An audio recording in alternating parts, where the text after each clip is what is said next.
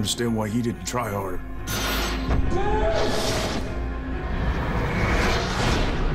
Blooding. Is this how it's gonna be? You're not up for this.